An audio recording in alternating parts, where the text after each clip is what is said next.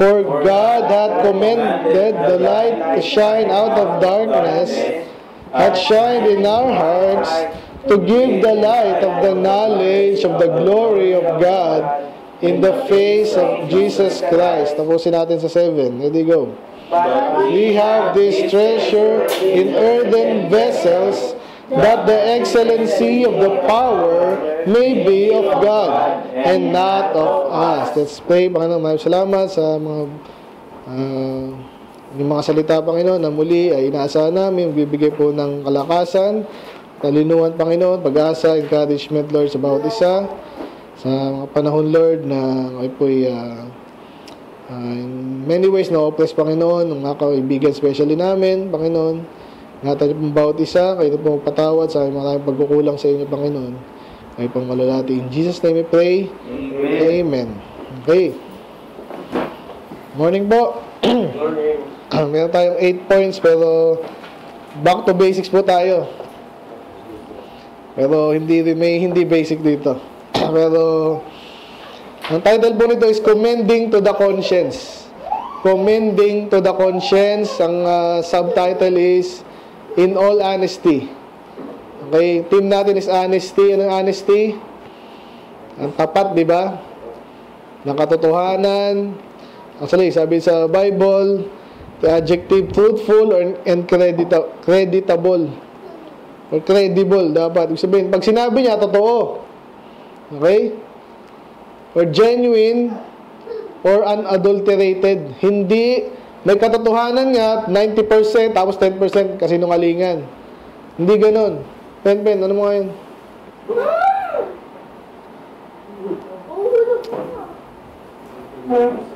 Okay?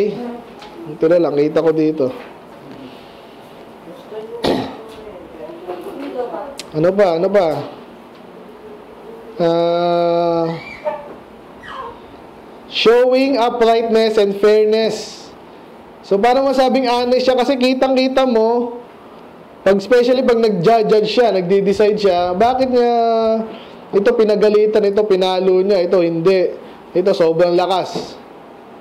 O ito talagang pinarusahan. Ito naman ay bakit ganun? Kasi fair siya. Okay? At sa last natin is sincere. sabihin, kung ano yung talaga naramdaman mo, yun ang sabihin mo. Okay? Sincero, honest. Okay? So may uh, address ko muna yung ano, yung uh, mali naman sa iba, yung iba OA naman, sabi ng iba, okay na, medyo nabanggit ko rin ito last time sa inyo eh. Madalas na nga eh. Yung pagkakaiba ng honesty at transparency. Kailangan ba tayo maging transparent? Eh, lahat ng iniisip mo, sabihin mo. Lahat ng ginawa mo, sabihin mo. Lahat ng gagawin mo, sabihin mo. Ng ibang babae, ganun eh. Yung iba rin actually lalaki, ganun. Kung ano yung unang naisip niya, sabihin. Hindi tayo ganun. Dapat. Pag honesty lang, ibig sabihin, kung ano yung dapat lang naman, sabihin mo. Pero, totoo. Okay? Kasi may ibang uh, nahadlangan dito, kaya dami narinig niyan eh. Kaya ayoko maging honest kasi may dahilan din sila. Eh, mali naman kasi yung application nila ng honesty. Okay, nabanggit ko na may ilang beses dito to. May sa Bible study, iba sa amin kasi, alam niyo na, bumibida din, sabi ng iba. Eh dapat sabihin mo lahat ng kasalanan mo. Sabi ba naman, eh, syempre, yung iba nakinig. Sabi nung ano, di nag-share. Next time, di na siya makabalik kasi nahihiya na siya. Eh. Okay, hayaan yung lead kasi yung lead ang nakakalam niyo. Siya talaga yung may concern na magtagal yung gawain, especially sa church. Hindi lahat ay kailangan mo sabihin. ang mga ina-expose natin, yung mga kasalanan ng public, tsaka sa church, kunwari, may hindi nakikinig dito, tiniwalag, tapos pag-uusapan. Mali ba yun? Eh, yung pastor mismo mag expose Doon natin pag-usapan yan. Nakakahiya eh. Napansin nyo yun, dapat minsan kailangan, minsan hindi. So kaya nga, yun ang gusto kong delineation natin. No? Minsan, kailangan pag-usapan, minsan hindi. So, hindi tayo transparent, tayo ay honest. Okay, ngayon, sa ibang application, kunwari, public servant ka. Ano yung mga dapat transparent ka sa mga nasasakupan mo? Diba? Kaya nga may sal-in. Importante yun. Kasi hindi naman bago sa atin, hindi tayo mga bata. Pag pinagkatiwalaan ka sa kaba ng bayan, pera, ikaw mag-allocate niyan, ano mangyayari dyan? So, dapat maging transparent ka sa iyong mga property, sa pera mo. Kasi parte na dapat yon. Pero sa, sa ibang bagay patungkol sa buhay mo, hindi na namin kailangan malaman, di ba? Pero pag lingkod bahay ka, at least yung pera mo, dapat alam natin, nagsimula ka ng ganitong year, natapos ka ng ganitong pamamira, na, naging four times, ano ka, millionaire ka. Four times, four times na mas mayaman ka dat, kumpara dati mo. May mali, may mali doon, di ba? so sa pastor naman, ganun din may uh, certain level of transparency. Ganun din sa pera, saka sa sa buhay mo, siyempre. Dahil nakita na natin yung pag dinisqualify mo yung sarili mo, hindi ka dapat magbasto. So again, hindi nangyayari din sa panahon natin. Sadly. Amen? So, yung pag-usapan natin buong ano, umaga. Isang oras lang naman to. Ano ba dapat yung honesty? Yung mga anak ko, gusto ko ba malaman lahat-lahat ang iniisip nila? Hindi din naman. Yung mga bata, pwede kasi sila yung, ikaw magtuturo sa kanila, di ba? Tapos doon mo sila inaano, ano ba yung totoo nangyari? Pero itong mga ganito na kalaki, tinatanong mo na lang. Ano nangyari talaga? O, sinong nagdumi dyan or something? Kasi pag hindi natuto yung mga bata na maging honest or renounce, mamaya, buta tayo doon, renounce yung dishonesty, hindi mo pwedeng bantayan lagi yan, di ba? So, ngayong umaga, pag-aaralan natin how to be honest. Again, ang title nito is Commending to the Conscience. Anong, kasi, pag i-define muna natin, ano ba yung sabihin ng commend? Sinabing commend, ang pinakasikat dyan, yung na, lagi natin ginagamit soul winning, di ba? Romans 5.8. So, sabi sa Tagalog, pinakikita ng Diyos ang kanyang pag-ibig sa atin. Nung tayo makasalanan pa, si Kristo na matay para sa atin. So, yung comment do, parang naging pakita. So, in a way, tama yun, pero kulang yun ano naman. Okay, kaya wala minsan akong tiwala sa, sa Tagalog.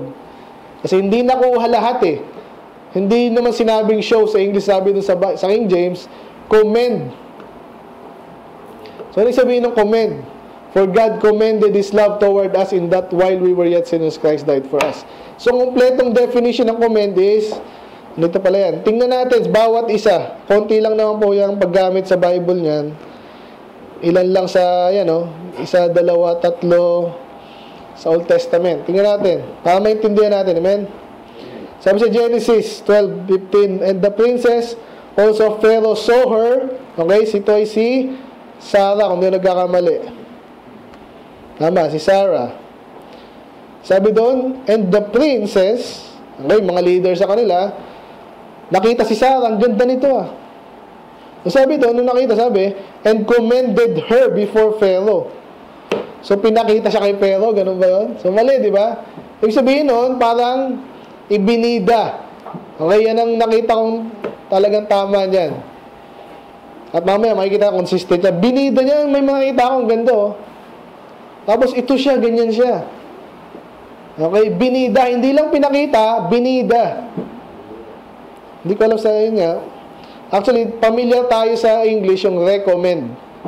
Tama rin yun. Kaso, yung comment, una siguro yun. Pag ni-recommend mo ulit. Panibagong ano, talagang maganda to, or magaling to, or mabilis to. Kung sinabing comment, binigyan mo siya ng positive, uh, pinakita mo siya in a positive way. Okay? Kaya doon tatama yung Tagalog. Kaso again, kulang. Sabi sa Proverbs 12.8, a man shall be commended according to his wisdom. So siya ay papapurihan o ibibida kung siya ay matalino. Sabi sa Ecclesiastes, then I commended mirth.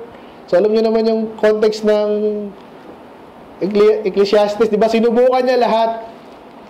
Di ba? Wisdom, folly, pati nga folly. So sabi dito naman, mirth. Oy, sino yung mga binibida dito? Ngayon, uso ngayon yung mga comedy, ano, di ba? Iba, nabuhay na doon sa comedy. Yun na yung business nila, yun yung career nila, di ba? So, sinubukan ni Solomon yun. Ibig sabihin niya, ay, mas maganda siguro yung mga katatawanan o yung mga masaya. Basta masaya. Regardless yung tama o mali. Basta masaya. Sinubukan niya yun. Obviously, mali siya dun, ha? Kasi sabi Then I commended mirth because a man hath no better thing under the sun than to eat, to drink, and be merry. Kung ano yung masaya, gawin natin. Obviously, later na nakita niyang mali yun, okay? Then, puro New Testament na doon. The Lord commended the, just, the unjust steward. Naalala niyo yan? So, mali yung ginawa ng steward, pero may ginawa siyang tama. Pag sinabi niyang the Lord commended, hindi yan Lord na Diyos, ha? Yung master lang. Yung sabihin nung, binida niya pa, ang galing nito, biruin mo, niloko ko. Naalala niyo yung kwento na yun? diba? Kasi kinaibigan niya yung mga iba. So, and then, ito yung sikat, pero ibig sabihin nito, commend my spirit, pinagkatiwala, pero pwede rin ganun. Parang, uh, uh, nirecommend mo sa Diyos, Oh Lord, pinagkatiwala ako ng spirit ko sa inyo na to. Yun na yung sa gospel, isa lang. Sa Acts 14.23, sabi dyan, And when they had ordained them elders in every church, they had prayed with fasting, they commended them to the Lord. Ibig sabihin nito, yung mga mga kapatid, pag kinumend mo sa Panginoon, pinagkatiwala, or hindi lang basta kinumend, positive to. Comment, ito Lord, ito yung mga, ito yung aming mga kapatid. Ganon din yung sabihin dito sa sa isang bahagi pa. Sa 26, ito dito na ginamit yung recommend. Sabihin talagang Lord, ito yung mga okay na tao. Okay? Ganon din si Paul and Silas being recommended. Okay? Hindi na sila basta maayos na katapatid, mga misyonaryo to. Sabi niyan. Ito yung medyo pagkakagamit na ano din. Parang kanina na Lord, kayo na pong bahala sa kanila, pinagkakatiwala namin. Pero may may sense pa rin ng commendation na positive. So, ilan na lang to. Sabi nito, but Romans 3.5 But if our unrighteousness commend the righteousness of God. Ano yung sabihin nun? Minsan, ay, nagkamali yung tao. Ibig ba sabihin nun, mali ang Diyos? Actually, minsan, naitataas ang Diyos. Kasi ang tao ay lahat na bagsak, ang Diyos lagi magaling. Okay? Yun yung sabihin nun ng commend, the righteousness of God. Nakita nating uh, righteous ang tao, pero ang Diyos ay righteous. Ito niyan, isa sa mga madalas natin ginagamit na bakit ang Diyos lang ang matuwid kasi wala tayong nakitang taong laging matuwid eh. Meron tayong hinangaan, tapos bandang uli, bagsak, iba naman, hindi naman bagsak, bagsak na bagsak, pero may mali pa rin sa isang bagay, di ba? So, ganun ang tao. Pero dahil sa unrighteous natin, minsan na itataas ang Diyos. Yun lang ibig sabihin ng comment dyan. Ito yung sinabi ko kanina sa 5.8. Then sa 6.1, gusto sinasabi lang ni, nagpapaalam na si Paul, pero kinokomment niya yung isang kapatid. Yung ibig sabihin nun, I commend unto thee Phoebe, our sister, which is the servant of the church, which is in Cenchrea. And then, yun na yun. Basta, hindi ko natapusin to. Kunti lang naman. So, naintindihan niyo po yung comment. Basta yung ating text, sabi dyan, but have renounced, sa verse 2. Balikan natin. But have renounced the hidden things of dishonesty, not walking in craftiness nor handling the word of God deceitfully, but by manifestation of the truth, commending ourselves to every man's conscience in the sight of God. Ibig sabihin ito, pag honest yan, di-define natin ang maganda sa Bible, kaya yung title natin, ang ginagawa mo actually is, kino-comment mo yung ano, yung sarili mo, kanino, hindi lang sa tao, na alam natin na ganun mo ginagawa ng karamihan, pero hindi lang sa kanya, kundi sa konsensya niya. Kasi ang alam natin, ano, oh, define natin yung conscience muna. Ano ba yung conscience? Mga bata, alam nyo na ba yung konsensya? Uy, makukonsensya ka dyan. Di ka ba na-konsensya? Yung ginawa kang mali. Ano yung conscience? Okay? ha? Ano yung science? Science. Ano yung science? Alam ng pagkaalam. Tama. Knowledge of what is true, di ba? So pag sinabing con, pag sinabing con is together or with, yung sinabing conscience is with knowledge. Ibig sabihin nito, pag pinagbuo mo na yan, tsaka yung talagang pinaka-meaning yan, mga bata, Okay, ibig sabihin yan, meron, pag sinabi meron kang konsensya, ibig sabihin may nagsasabi sa'yo, kahit wala nagturo sa'yo, ibang bagay na hindi naman nagturo sa'yo, alam mo pa rin mali o tama. Okay, kasi nga meron kang konsensya. Intindihan nyo ba? Sinasabi sa iyo yung tama at mali.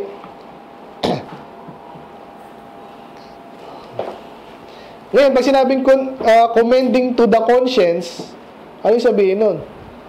Talagang ngayon yung nakita ko dito, napagandang definition ng honesty. Dinataas mo yung sarili mo, pero hindi lang sa pagmamayabang, pero yung sa konsensya ng tao. So, pwede ka magsinungaling doon sa konsensya, konsensya ng tao, konsensya mo? Hindi. Okay? So, mamaya, sa, babalikan natin yan sa conclusion. Okay? So, uh, so yun, tapos na tayo. Dinefine natin yung commend, yung conscience, and then yung honesty. Meron pa akong mga verse eh. Ano nga ba yun? Ayan, sige. So, yung term na honest po, uh, let, let us, let the Bible define itself. Okay? So, sa honesty po kasi, na nabasa natin kanina, yung chapter natin, pero sabi sa Philippians 4.8, sabi dyan is, Finally, brethren, whatsoever things are pure, whatsoever things are honest. then may mga ibang bagay pa, just, pure, lovely, good report, virtue, praise. Ibig sabihin, isa sa mga bagay na napakaganda. Diba? Virtue. And then, uh, tingnan natin yung mga general muna. general usage ng honesty. Again, Basic to pero kailangan na maintindihan, especially in the context of the Bible. Ito medyo marami to, yung mga general use. Sabi sa Romans 12:17, recompense to no man evil for evil, provide things honest in the sight of all men. Ano sabihin, huwag ka manloloko. Diba? Tapos, especially doon pag-provide things honest in the sight of all men, isip, pakita mo sa tao na, kita nyo, wala akong ginagawang mali. Kita, kita, kita nyo, kita nyo, kita nyo, di ba? So, yung mga bagay na dapat alam ng ibang tao, nabagit kanina yung pastor, tsaka yung public servant, dapat alam nila yan. So, kaya nga tayo nag-YouTube ngayon. Kaya tayo nagla-live. Wala tayo tinatagong aral. Amen? Pansinin nyo yung mga kulto, laging ganun. Tatago nila yan kasi alam nilang offensive tsaka kalokohan. Hindi na sabihin ng mga momo, naniniwala kami, magiging Diyos tayo. Hindi sila pupunta sa iyo ng, ng gagawin nila. Hindi nila ma-publish yung mga sermon nila. Tama ba? Yung iba, ine-expose na lang sila, pero yung turo nila, tinatago nila. Ganon din yung Catholic. Okay? Ito yung paniniwala namin. Bakit na napiling Pope? Basta, secret. Ba't siya naging pare, yung isa hindi? Secret. Diba? Ang dami tinatago dyan sa kumbento na yan. Ano mo meron dyan? Kailangan mo itago yung mga yan. Mga sex slave na pala. Diba? Alam nyo ba yun? Ang daming kalokohan yung mga yan. So tayo ina-expose natin kasi yun sabi ng Bible. Paano mo masabing honest ka kung tinatago mo yun? Hindi ko naman sinabi yan eh kung naka-record. Hindi pwede sabihin hindi mo sinabi. Okay, next tayo sabi dito ay 13.13 ng Roman, sabi dito, let us walk honestly as in the day. Okay? Ang paglakad daw natin ay parang nasa araw. Kasi pag gabi nga naman, di ba, ano, medyo kung makita ka man, hindi masyadong kita. Hindi ako yun. Pag lumalakad ka sa araw, parang na-expose mo ako eh, di ba? And then sa 8.21 ng 2 Corinthians, providing all honest things. Providing for all, ah, sorry, providing for honest things. Not only in the sight of the Lord, but also in the sight of men. Parang inulit lang. Sabi sa 2 Corinthians 13.7, sabi dyan, Now I pray to God that ye do no evil, not that we should appear approved, but that ye should do that which is honest. Okay? Kailangan gawin yung honest. That ye may walk honestly toward them that are without, sa 1 Thessalonians 4.12.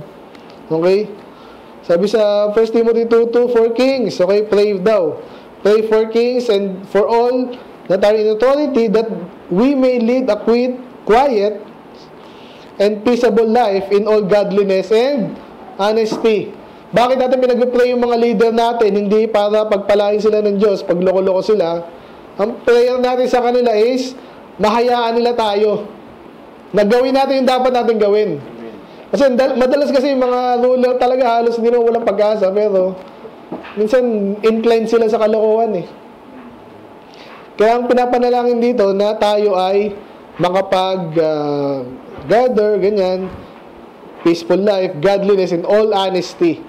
Kasi nga naman, pag ikaw na yung inuutusan ka na ng gobyerno na maging sinungaling, ang hirap nun. Diba? Yung China daw, ganun eh. Alam niyo ba Dahil nga communist, yung mga citizen daw nila tinuturuan maging spy. Yun sabi. Eh kasi nga, gano'n sila, inuutosan na silang maging, uh, para maging maunlad sila, tsaka ma-spy nila yung ibang bansa. Okay? So, hindi naman lahat, pero hindi nakakapagtaka yun sa isang komunista totalitarian na nation na katulad nila. So, kaya nga pag-pray natin na hindi tayo maging ganun. Huwag masyadong malakas yung gobyerno, ganun na mangyayari. Next. 1 Peter 2.12, having your conversation honest among the Gentiles. Okay, sinasabi niyan, paulit-ulit to, ibig sabihin, maging honest tayo. Then last, as first sa John 3.11. Okay, ito yung favorite verse ko. Na wala dito. Wala siyang word na honest, pero mamaya na pala yan. Okay? Nahalo.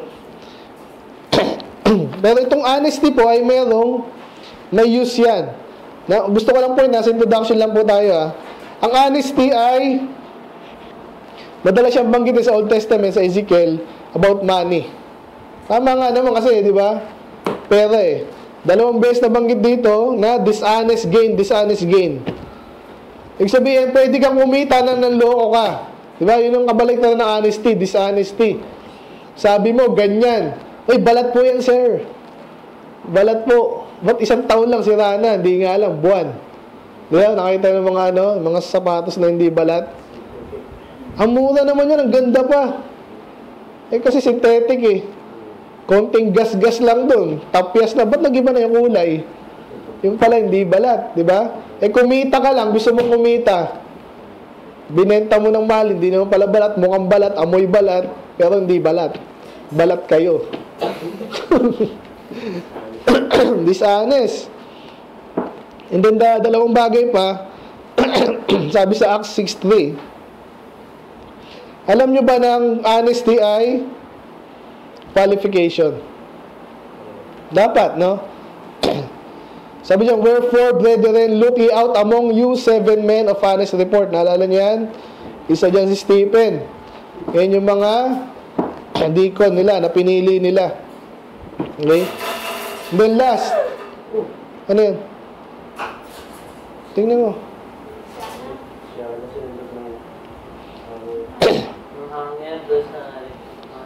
Ba't di lagay yan sa ano? Crib. Then lastly, sa ating introduction. Introduction pa lang tayo. Ang honesty, bakit kinukuman sa atin? Kasi, ito yung minsan mahirap.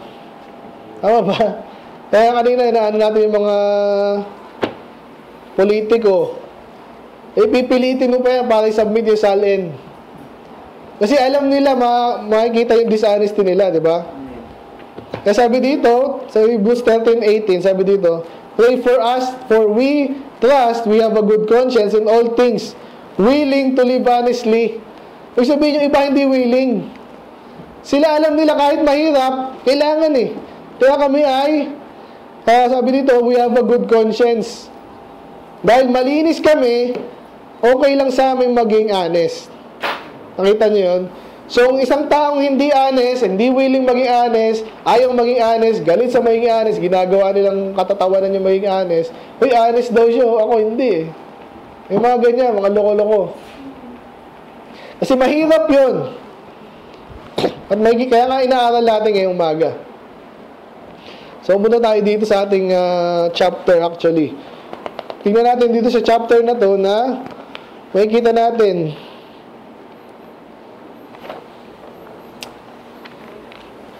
kung paano tayo maging honest. Okay, so number one, sabi dyan, Therefore, seeing we have this ministry, as have received mercy, we faint not. So, sino dito naka-receive ng mercy? Sino naka-receive ng mercy? Alam niyo yung mercy? Awa. No? Dapat sa'yo, ganito, sa impyerno ka. Tapos ligtas ka. Sino ligtas dito? Yung totoo.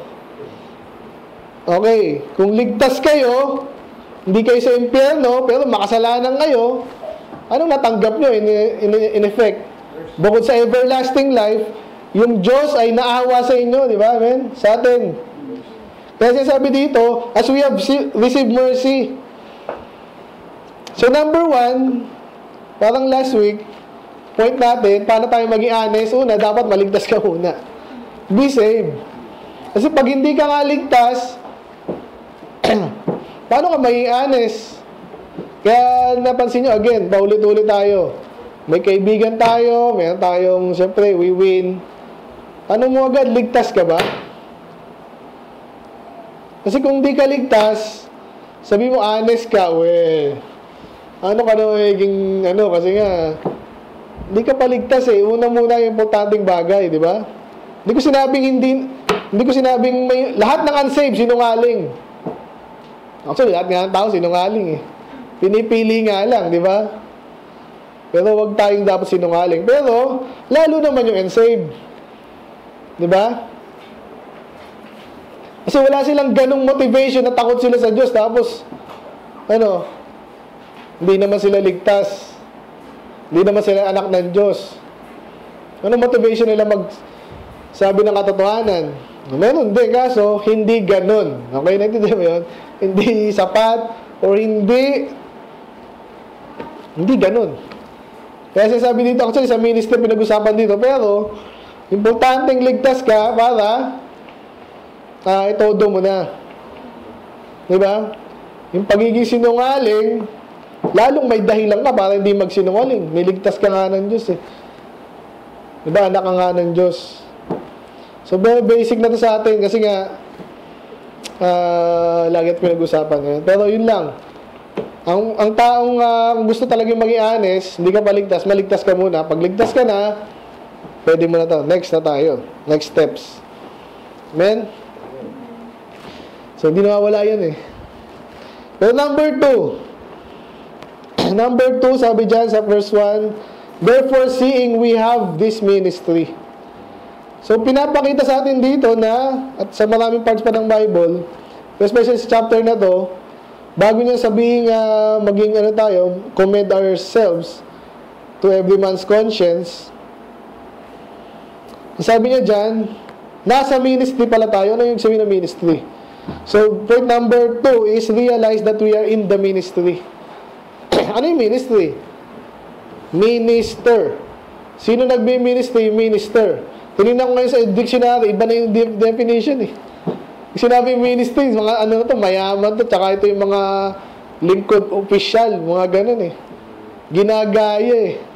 Pero ang basic lang talaga ibig sabihin ng minister, pag sinabing mini, maliit lang. Actually, nanggaling daw yung sa Old French. Pero hindi ko nasulat dito. Tapos, inadapt din ng Latin. Ang ibig sabihin nun talaga, minister, ikaw yung servant. Yun na yun. Okay? Ngayon, kung alam mo servant ka, magmamayabang ka ba? Kung alam mo nag-serve ka, o oh, pakitakal po yan. Sabi ng boss sa'yo, oh, magtakal ka dyan na mamaya. Natakal tayo ng bigas. Oh, walang sobra, walang kulang. Oh, apat na takal lang yan, ha? Eh, hindi, ano, sayang eh. Nagtatakal ka, pinapasok mo pala sa'yo, inananakaw mo pala yung iba. Diba? Pag servant ka, sumunod ka lang sa pinag-uutos ng ano mo, master, di ba? Ngayon, pag hindi ka honest, wala kang problema dito. Sige, nakaw lang. Kami mga matanda na, alam namin yan. Minsan nga sa church, biruan pa yan eh. Yung ibang sa pag ganyan, natatawa, alam mo na. Hindi yan dapat sa mga anak ng Diyos. at hindi ka maging honest sa mga bagay na patungkol sa Diyos, ang hirap maging honest ng sa yung sabi natin kanina, commend yourselves to the conscience of men. Paano mo gagawin yun? Yung napaka-basic na, ano ba trabaho mo? Ano po ako eh? Uh, collector ako ng ano eh.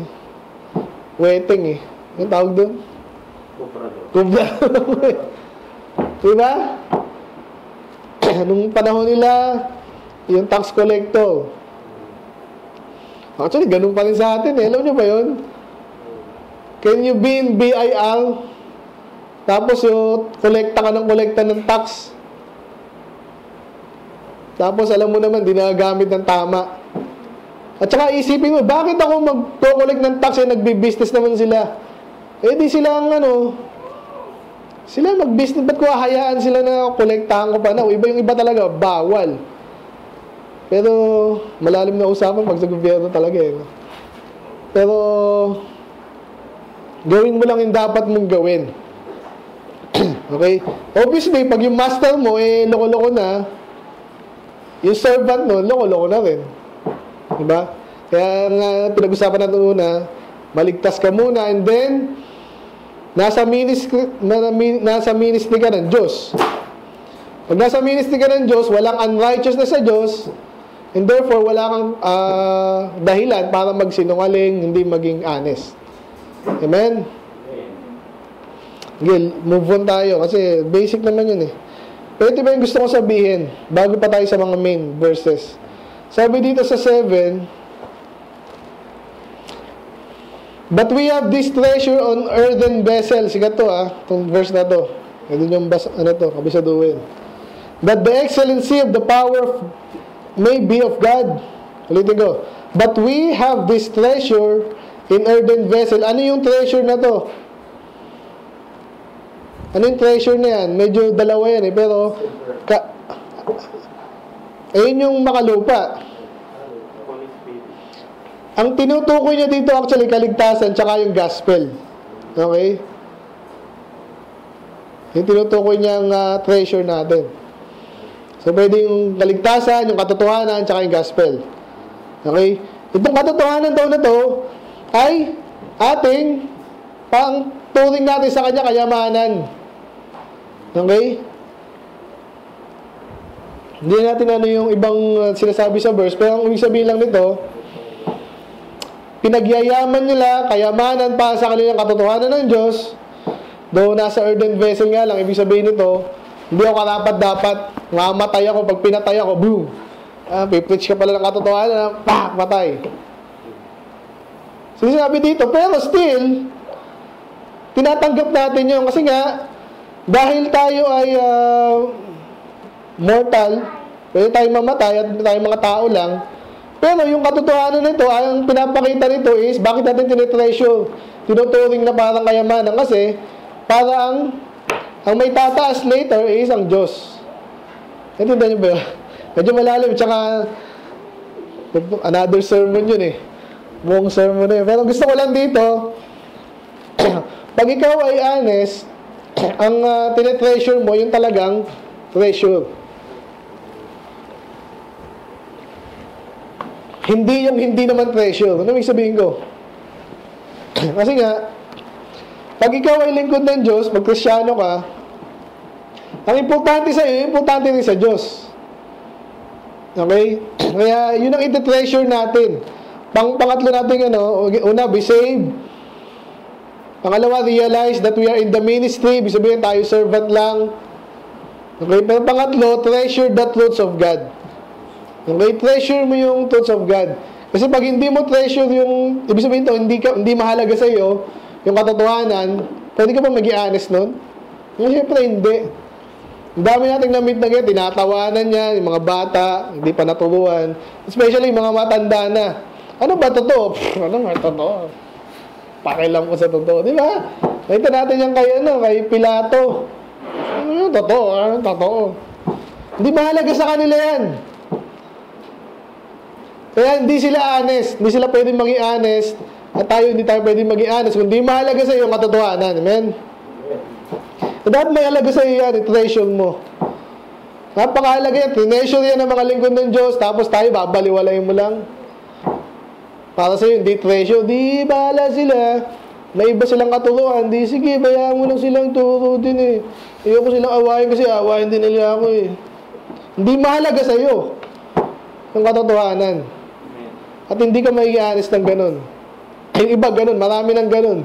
Ayaw nila sabihin uh, duwag lang sila, kaya sabihin nila, eh, mabayaan mo lang. Pero actually, hindi sila honest doon. Hindi sila intellectually honest. Hindi sila honest sa salita ng Diyos. Kung honest sa salita ng Diyos, pahalagaan mo to. Yung gusto sabihin doon. Medyo malalim nga lang, pero yun yun. Amen? Amen. Ngayon, punta na tayo doon sa mga main points kasi natin dito, yung apat, ang lima, na makikita natin halos doon sa ating text. Okay? Doon sa, ulitin natin yung text natin, ha? Okay, basahin ko. But we have renounced the hidden things of dishonesty, not walking in craftiness nor handling the word of God deceitfully, but by manifestation of the truth, commending ourselves to every man's conscience in the sight of God. So number four, Meron pala ako, sorry, nakakalimutan ko. Bukod dyan. Naduling ako eh. Meron pa tayo sa verse 13. Yung singit lang. Bago yung main text natin. Sa verse 13, may sinasabi dito. So, how can we be honest? Number one, be saved. Number two, realize, minister lang tayo. We're in the ministry. Pangatlo, treasure. Treasure the truths of God. So, sabi din dito sa, we have, we having the same spirit of faith, according as it is written, I believe, and therefore have I spoken, we also believe and therefore speak. Intindihan niyo ba? okay, gawin simple ha. Tagalogin natin. We having the same spirit of faith, tayo tayo daw, pare-pareho tayo, especially si Paul, yung kausap niya, taga-Corinthians, pare-pareho naman tayo ng pinanampalataya eh. Kasi sabi niya dito, according as it is written, nakasulat na yan eh. So sa Old Testament, nakasulat, wala naman tinago ang Diyos. Yung iba lang kasi hindi na alam kasi tamad. Or, ay, ang Bible, ano, nakakatamad yun. Eh. So, naku, ano yan, di ba yung ganun, ganun ginagawa ng iba? Oh, Old Testament, ay, Leviticus, huwag na Ganun yung ginagawa ng iba. Ngayon, yung nasabihin ng mga takot din, pero mananampalataya, ay, oo nga, huwag na nating itouch yun. Kasi sabi ni Paul dito, nakasulat na yan eh. Kaya pinaniwalaan ko lang. And therefore have I spoken. Di ba? Eh, nakasulat. Yung sinabi ko. We also believe and therefore speak. Nung naniwala tayo ngayon, ano nga po yung nasa pinaniwala? Hindi yung sasabihin natin. Di? Yun yung nabanggit ko kanina sa John 3, 11. Sabi daw, Verily I say unto thee, we speak that we know. Ano nagkasalita rin si Jesus? Uh, medyo kinukonvince si Nicodemus. Paano mo nasabing totoo yan? Ito kasi daw yung We speak that we do know and testify that we have seen and received and ye receive not our witness. Ang gusto ko sabihin dito mga kapatid, ang katotohanan hindi naman ganun kakomplikado.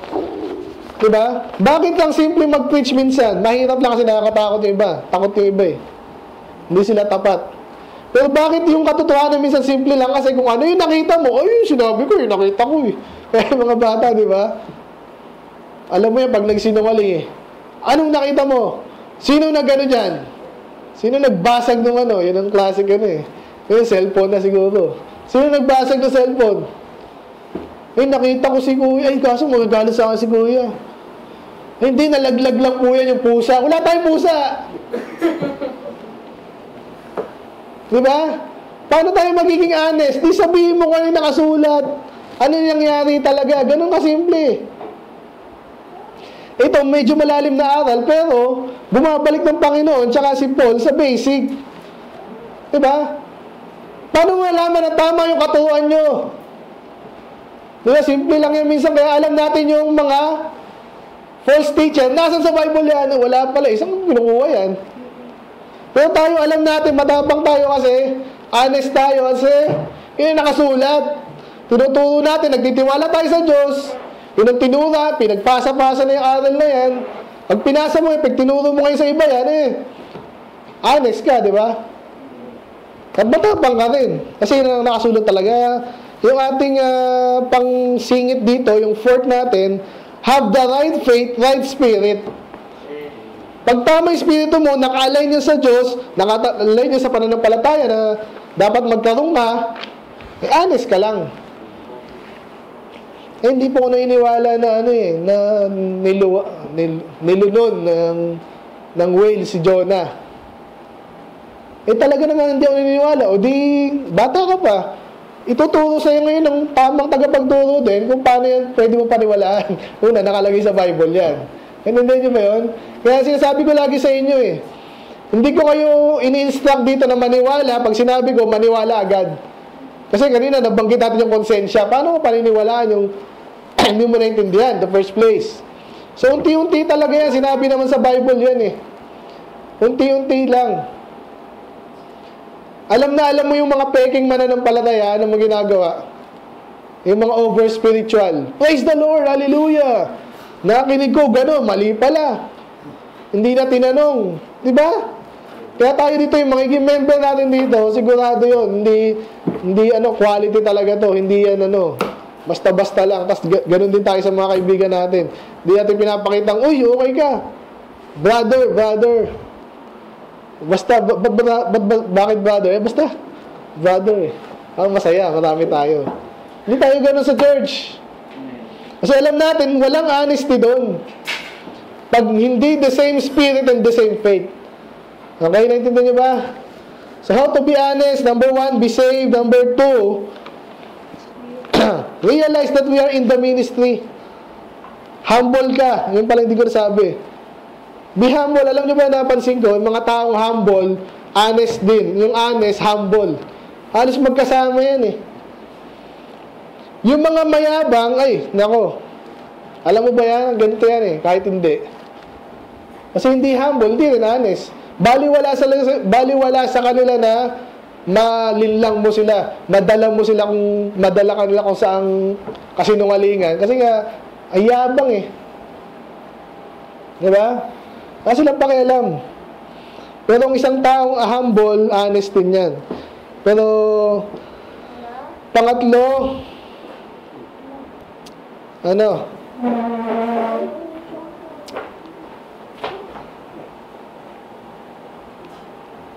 Lagay nyo siya sa crib bag. Makulit na yan eh.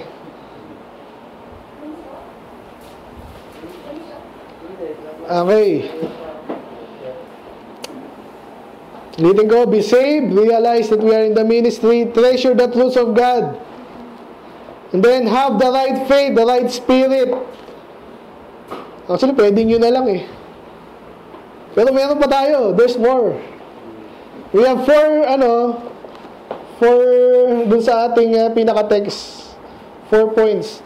So number one, ito yung basic actually. Ano sabihin mo nung maging honest? Hindi ka dishonest.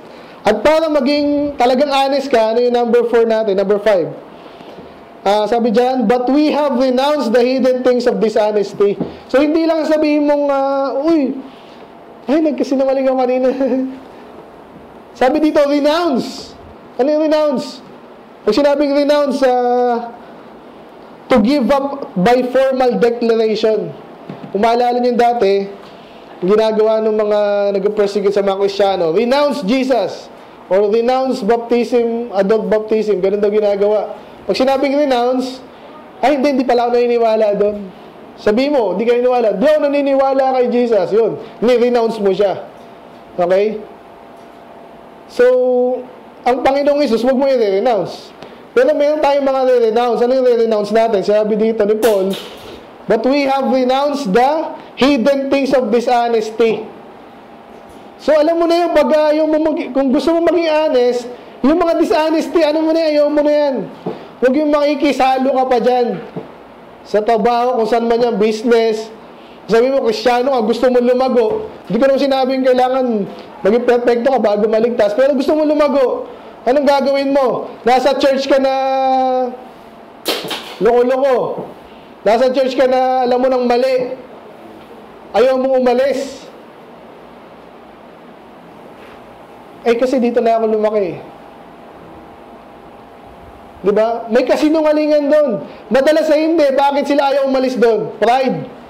Ayoko masabing mali pala ako dati. Well, why not? Kung mali ka talaga dati, pare-pareho naman tayo mali. Di ba? Ang dami niya, no? Pwede natin dagdag yun sa sa preaching natin, ano. Hindi mo ma, hindi ka ganun ka-honest na aminin mo, mali nga to sinasamahan ko ngayon eh. Nagkamali ako eh. Ano gagawin mo ngayon? Hindi na ako naniniwala sa palundag-lundag napakabilis. Okay? Obviously, mahirap yan kasi magdi-decide ka niyan eh. Saan ba ako ngayon? Yung church ko pala, medyo paano na, palubog na. Hindi na King James.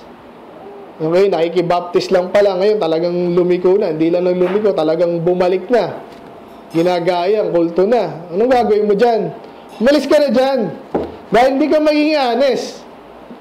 Gusto mo maging magsinungaling ka every day of your life? Hindi, wala kang magagawa eh. Magagawa ka, hindi ka naman bata eh. Kung adult ka na, pwede kang umalis dyan. Amen? Eh, napunta doon. Kasi nga, pag, pag mali, i-renounce mo. Dapat matinding pag, ibig iwanan mo. Okay, give up. I-give up mo na yan. Okay, so number 4 is, uh, number 5 is that, renounce dishonesty. Yan ang ginawa nila. Dahil gusto nila maging honest. At actually, dyan talaga yung ano eh. Yun yung kabaligtaran ng honesty, dishonesty. And then move on tayo, sabi dyan sa 6. Ano ba yung mga kabaligtaran ng honesty? Sinabi naman dyan eh. Bukod sa dishonesty, sabi dyan, not walking in craftiness, kasi mapanlin lang, okay? Alam na natin yun, kaya hindi ko na binawan point. Sabi, sabi lang dito, handle the word of God truthfully. Kaya sabi dito, but nor handling the word of God deceitfully. Ano sabihin nun? Ano handle? Hinahawakan, o pwede ginagamit, ginagawa, handle eh. Eh bakit yung salita ng Diyos? Ginagamit ba natin yung salita ng Diyos? Eh no? Diba? Pinumpa nga sa sword eh. So yung salita ng Diyos, katotohanan yan, So, pag pumatay ka ng ano, spiritually ha, pinatay mo yung kasalanan, wickedness. Pag preacher ka, di ba? Mali yan, yung kabaklaan. Kunwari, yun na naman eh, paborito natin eh. Kasi iba kasi tinatanggap eh. O, mali yan. Ano pa yung mga kanina lang? Yung sugal, yung, uh, ano naman yan? Dishonesty. Sa custom, yun, BIR. So sasabihin mo 'yon, kaso pag yung ang sin, ang inislash mo, ang ginamitan mo ng sword, yung ano, yung tama. Tama ba 'yon? Na kasi ganoon, ay na binanatan natin yung wickedness. Eh kung binanatan mo tama.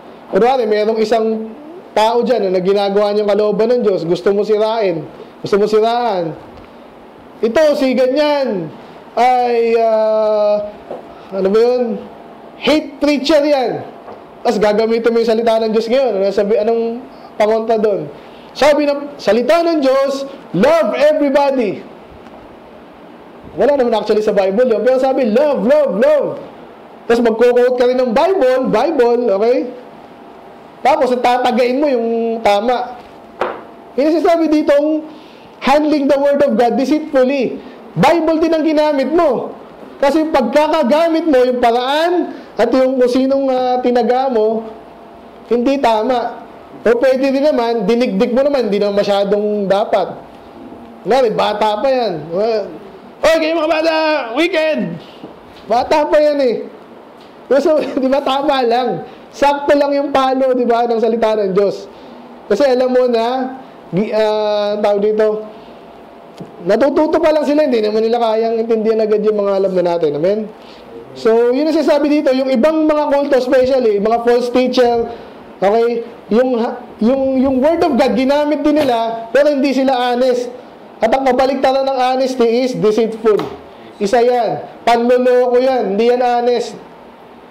Okay, kaya mag-ingat tayo. Ngayon, ganun din naman, pag preacher ka, kahit ka, soul winner ka, kristyano ka, kasi sabihin, ba, ganito ba to? Dahil takot ka sa kanila or something, hindi mo talaga sinabi yung sinabi ng salita ng Diyos. So, hindi ka honest. Okay? So, yan. Kasi yung ginagawa kasi ng iba, kaya hindi kompleto yung preaching. Yung minsan yung honesty, ginagawa sa, sa ano lang yun, sa mga bata lang yan eh. Kaya minsan hindi nila pinipreach yung ganito. Di ba? Hindi mo nasabihin yung pastor yan, hindi naging honest yung pastor. Naging sinungaling din ang pastor. Pero hindi dapat. Kaya iba pag, pastor, sinabihan mo, yung pastor, sinabihan mo ganyan. Why not? Diba? Minsan eh, ganun eh. Kung yun ang totoo, yun ang sasabihin natin. Amen? Amen. Ako, ganun ang ano ko sa inyo. Kunwari, pastor, parang mali yan. Dapat ganun kasi we have to be honest. Okay? And then, pangatlo, second to the last. Sabi ko na, medyo kapos tayo eh. Extend tayo na siguro konti ah. Okay, number one, be saved. How to be honest. Again, commending you. Bakit ang title is commending to the conscience? Kasi konsensya pinag-uusapan natin dito, hindi mo pwede pag sinungalingan yan. Kaya ganito yung uh, banat natin. Sa konsensya ka ngayon, lagi, pag nag-preach, ang kausap ko dito, hindi kayo lang. Kaya gusto ko, mabait sa akin si Joshua, kaya medyo ano ko siya, like ko siyang i-please. Hindi, sa konsensya mo ako nakikipag-usap. Ganun ang tamang preacher. Ganun ang dapang kristyano na honest. Amen? Commending to the conscience, be saved, realize that you're in a ministry, treasure the truths of God, have the right faith and right spirit, renounce dishonesty, and then handle of the word of God truthfully. Okay? Na, natuto ka lang ng konting verse, ginamit mo na sa kaaway mo. Ganun yung iba sa Facebook, out of nowhere, yung, ang daming pipiliing verse, yung mga ano pa. Kala mo, ah, hindi nalata, latang halata rin naman. Diba? Yan. So, number seven, sa verse 3. Ba't ako tumagos? Hindi. Sa verse 2 and verse 3, may sinabi dyan, but by manifestation of the truth, yun na yun. Ah, pwede mong definition ng honesty yun. Manifest the truth.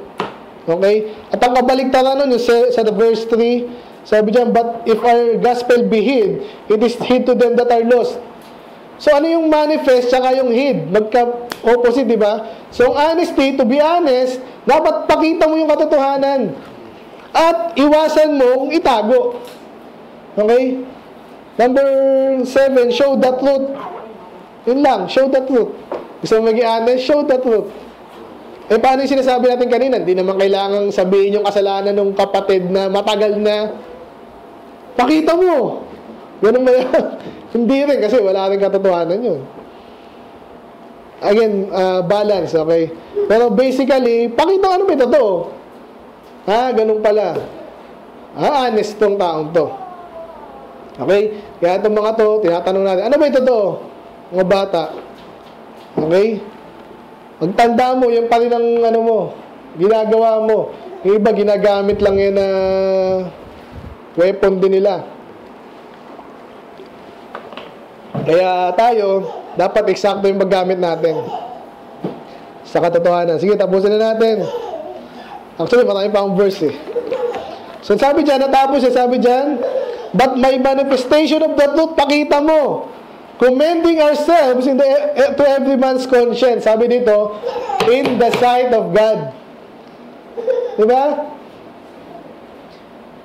Ano yung 2 Corinthians 2.17? Oh, memory verse yun ah. 2 Corinthians 2.17. Nasulat ko ba yun? For we are not as many as corrupt the word of God But out of sincerity, out of God, in the sight of God, di ba? Speak in Christ. Kasi ano, ano yung pinaka-point ko dito? Sabi ko ba? Realize that God sees everything. Bakit kailangan mo maging honest? Ba't kailangan mo maging makatotohanan? Eh, kita ng Diyos lahat yan eh. Yung kung ligtas ka eh, ligtas na ako, kahit anong mangyari, obligasyon na ng Diyos na langit ako eh. Eh, paano yung rewards? Paano yung mawawala, pwede madagdag? Gusto mo ba, pwede ka naman ng ganitong rewards? Wala ka niya. Kasi nakita ng Diyos, sinungaling ka din eh. Saka yung sinasabi ng Panginoon din, ha? yung iba, pag kinoment mo yung sarili mo, ano, may yung mga Pharisee, namigay kami ng ganyan. Oh, publish. Ano sabi ng Panginoon doon? You have your reward. Diba? Kaya ang gusto natin, yung reward natin hindi mawawala, huwag mo ipakita sa tao. Pero kita ng Diyos yan. Okay? So ito yung mga verse natin sa In the sight of God. Napakarami. Tapos tapos tapos na tayo. Sabi dito, But Peter and John answered and said unto them, Whether it be right in the sight of God, to hearken unto you more than to God, judge ye. Okay? Naipit siya dito. Sinong kita ng Diyos to pag na, nakipag-usap yung mga disipulo sa mga ruler, o sige po, papayag na kamo kami dyan. Eh kaso kita tayo ng Diyos. Tapos makikipag-compromise tayo sa mga unbeliever. Kita tayo ng Diyos. Acts 8.21, Thou was neither partner not in this matter, for thy heart is not right in the sight of God. Acts 8.21, sino yon? Acts 8. Malala. Parang si Peter yun, tsaka yung, uh, ano. Anyway, sige, tingnan natin. Anak ko yung konti. Acts 7, si Stephen. Acts 8, tama, alam ko si ano yun. Peter. Acts 8, nabasa mo na? Galing mo ah. Sino yun? Ha? Yan, tama. Si, si uh, yung... Pro- Peter. Hindi nga, sino yung sinabihan niya? Si ano, di ba, yung sorcerer, tama ba? Ah, Simon the sorcerer, di ba? Hmm, ah. Sabi niya, hindi tama yung ano mo, puso mo. Sinasabi mo, gusto mo magkaroon ng power na saan mo gagamitin? Eh, dati kang sorcerer. O ano ba yung mga sorcerer? Pakitang tao yan eh. Kaya dapat itama mo yan. Kita ng Diyos yan. Okay, Cornelius, Acts 10.31 and said Cornelius, Their prayer is heard, and thine arms are had remembrance. Tama ba yun? And thine arms are had in remembrance in the sight of God. So si Cornelius pala, hindi na nagligtas sa kanya, pero naalala lang ng Diyos. Sinasabi din natin yung mga gumagawa ng mabuti, malapit sa kingdom of God. Ano yung sabihin nun? Malamang sa hindi, katulad niya, uh, soul winning ano natin. Kung sugal yan, nagusugal yan, Uh, nagiinuman yan, lalapitan mo pa ba? Di ba? Eh, yung mga nagkinatok natin, ang ganda ng bahay, walang pakialam salita ng Diyos, malapit ba sa, sa salita ng Diyos? Hindi rin, di ba? So, mayroon talaga mga taong malapit sa salita ng Diyos. Yung mga honest, saka sa Cornelius, eh, nag-a-arm siya. Ibig sabihin nito, in-honor ng Diyos yun. Again, hindi sa kaligtasan, pero malapit siya sa Diyos, sa kaligtasan ng Diyos. Amen? ang Diyos na nakakita nun eh. Ang ganda nung ano, patutuo ni Cornelius. Okay? Sabi dyan sa 2 Corinthians 2.17, for what? Ay, yun ang sinabi kanina, di ba? 2 Corinthians 4.2, but we have renounced the... Yun na yun eh, sorry. Naulit. 2 Corinthians 7.12 na lang, last na to. Wherefore, though I wrote unto you, I did it not for his cause that had done the wrong, nor for his cause that suffered wrong, but that our care for you in the sight of God might appear unto you. So, naalala nyo sa 2 Corinthians 4 tayo, di ba? Later sa 7, naalala nyo sa 1 Corinthians, yung fornicator, di ba? So, kasi na-restore yun, nagsisi yun eh. Kasi pinapaalala ni Paul, di ba, ano nangyari? Dahil uh, tinuot natin siya, tiniwalag natin, di ba sinasabi nito, kaya naman natin ginawa yun, hindi para sa para sa atin, sabi doon, para sa para sa inyo at para sa kanya rin. Di ba? Who suffered wrong. Kaya nakakaalam dito, sinasabi dito, but that are care of you in the sight of God. Alam ng Diyos. At kita ng Diyos na kaya tayo ginawa natin yon yung matinding judgment laban sa Kanya is para sa Kanya. Kaya gusto lang sabihin, kita ng Diyos lahat. Amen? So bakit tayo maging honest? Dahil siyempre, yun ang gusto ng Diyos. Pero paano tayo maging honest? Una, maging, maligtas ka muna. Realize you're in the ministry. Treasure mo yung tools ng Diyos. Gospel. Ang hirap maging uh, totoong kristyano, hindi ka soul winner. Wala kang pakialam sa Bible. Hindi ka honest. Amen? Amen. And then number four, have the right faith, right spirit. Magiging honest ka nun. Renounce dishonesty, handle the word of God truthfully, show the truth, then realize God sees everything. Kung hindi pa kayo naging honest, ewan ko na lang. Lahat tayo dito. Hindi lang takot ka sa asawa mo, kaya ka ginagawa to. Takot ka sa boss mo, kaya mo ginagawa to. Takot ka sa, takot ka sa Diyos dapat, amen? Amen. Kaya conclusion natin, honesty is one of the most, those traits na impossible to fake. Alam ng Diyos lahat yan. At sabi sa ating text, sabi niya, commending to conscience. Hindi mo pwedeng lokohin yung conscience mo. Kasi sabi ko sa inyo, paano yung, bakit yung ibang preacher hindi niya na nag-get yung dapat nila mag-get? Bakit, ah, preacher pa naman, sinungaling? Kasi, nag-uumpisa yon hindi niya na, ano ba yung sinasabi ng konsensya ko? Tapos minsan, kaya siya nagkakaroon ng following, iba ng method niya. Hindi na, hindi niya na kinukumin yung kanyang sarili sa konsensya ng tao. I believe ganun yon Dapat kung magkakaroon ka ng follower, di ba? Kaya, kaya kanya finalo, ano? Nakita niya yung finish mo, katotohanan, pulong katotohanan. eh, ba't siya, eh, kung gusto niya lumago sa salita ng Diyos, eh, ba't siya makikinig sa kung kanino? So, yun lang gusto ko sabihin dito. Hindi mo yan mapepeke and therefore, maging honest na tayo sa lahat ng bagay. Lahat. Commending ourselves to the Lord and to men's conscience. Amen? Basahin ko na lang yung last verse. Luke 8.15. Ito yung kinalaman sa good soil. Okay, sa Matthew 13, hindi sinabi ng gito, pero sabi sa Luke 8.15, But, but on the good ground, they are, are they, but, do, but that on the good ground are they, Okay, sino yung mga nasa good ground? Which are in honest, which in an honest and good heart, having heard the word, keep it and bring forth fruit with patience. Ganda, di ba? Kaya yung mga talagang lumalagang kristyano, honest yun. Una, yung, yung mga hindi nga honest, hindi nga maliligtas yun. Di ba? Pero kung maliligtas ka at magbubunga ka, isang dahilan doon, at talagang pinaka-dahilan doon is you're honest. Amen? Be honest, mga bata, ah. i-practice nyo na yan. Huwag na kayong matugso na gusto kong gumaling yung may nakita ako, sinungaling, galing eh. Huwag nang ganun, amen? Let's pray, Panginoon, maraming salamat. At uh, simpleng mensahe, simpleng team.